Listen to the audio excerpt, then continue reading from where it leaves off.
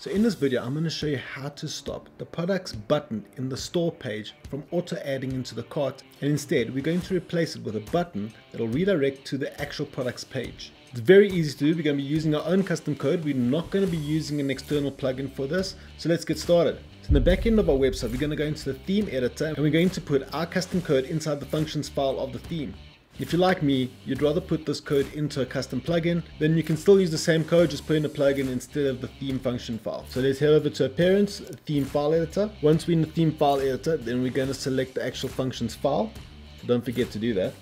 Then we head over to the theme functions file. If you don't see the name of theme function, then the functions file is going to be called functions.php. So now that we're in the file, we head right to the bottom and we don't interfere with the rest of the code that's inside this file. After the last function, we just make some space and here we're going to add our custom code. Let's start to add a little note just to say what this function is about so we remember it for later. So the note that I put in there is this function replaces the store product button with our own. And that's in essence what we really are going to be doing. We are going to be making our own button there because the old WooCommerce one is a trigger to do add to cart and with ours we're actually going to make our button and have it link to the product page. So let's start by giving this function a name. So I'm calling my function my custom store page product button with the open and close brackets and then the open and close brace. Please do make sure that your function name is very unique so it doesn't interfere with anything else in your website.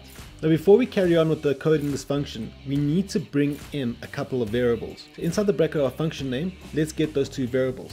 So the two variables that we're bringing in is the button and then the product that it's associated with. So now we can carry on with our function code. So inside this function, we're going to do a sanity check just to make sure that this is being called within the store page or inside a product category page. In order to do that, then we have to say if is product category open close brackets or is shop open close brackets and then we close the if bracket then we open up a brace. So what that's saying is like, if this is definitely being called inside the shop or the category page, then carry on and use the code that's inside.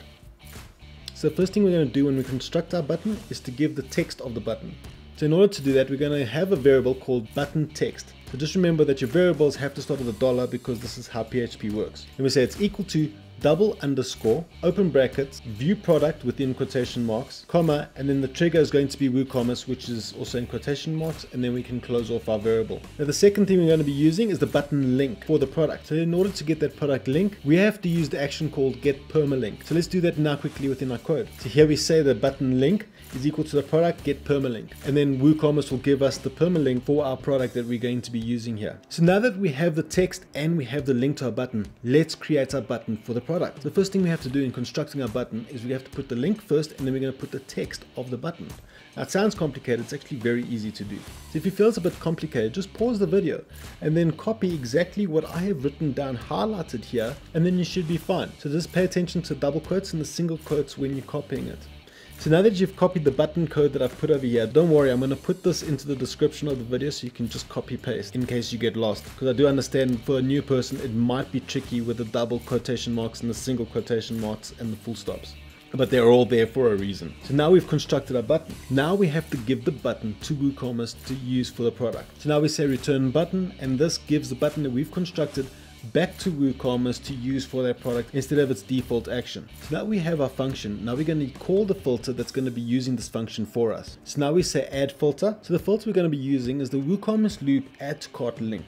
And then the second variable we're going to be passing through the filter is going to be our function name. And then we're going to add with the importance of 10 and 2. So now that we've done it, now we're just going to save our file and then you'll see in the store front end, it'll go to the single product page. So now that it's saved, let's head over to our front end and now we're going to hit refresh. So now that the store is loaded, now you can see it says view product and is behaving just like it did before. So what's happening there is there's a text that we said of view product and it's behaving like a button to the class that we actually constructed inside the button.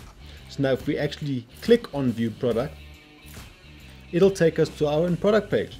And there we go, working perfectly. So from now on, when a client clicks on the product in the store page, it'll actually go to the product page instead of doing add to cart.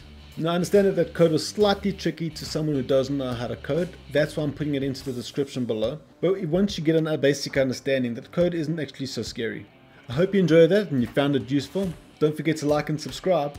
And please comment down below if you want me to do a video on something. And with that, I'll see you in the next one. Cheers.